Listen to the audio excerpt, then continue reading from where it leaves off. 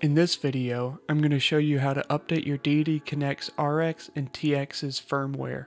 You'll need a flash drive, the USB adapter, the transmitter, and the receiver. First, you'll need the firmware file.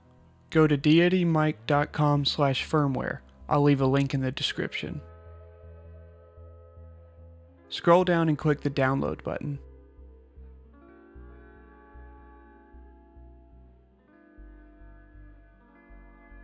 Unzip the folder and you'll find three files. You'll need the two .bin files. Drag them onto your flash drive.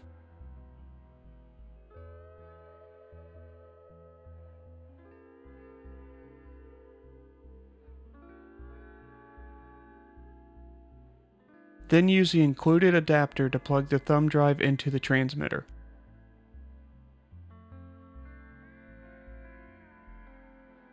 Scroll through the menu to the Update option and select it.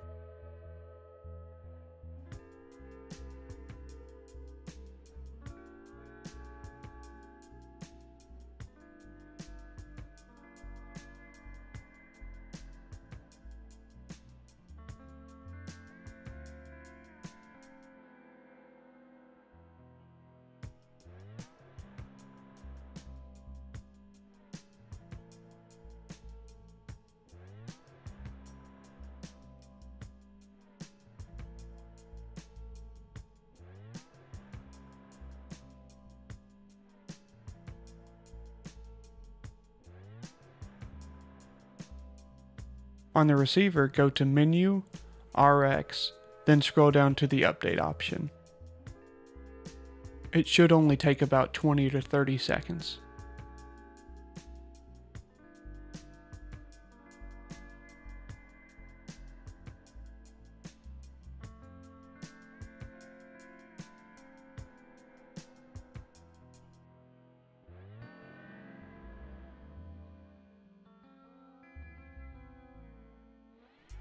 Once it's done updating, you'll need to pair the transmitters and the receiver. To do this, go through the settings on both the transmitter and receiver and select pair, and then select yes.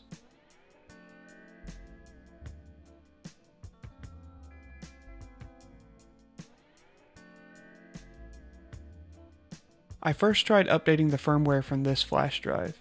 If you get this error, use a different flash drive.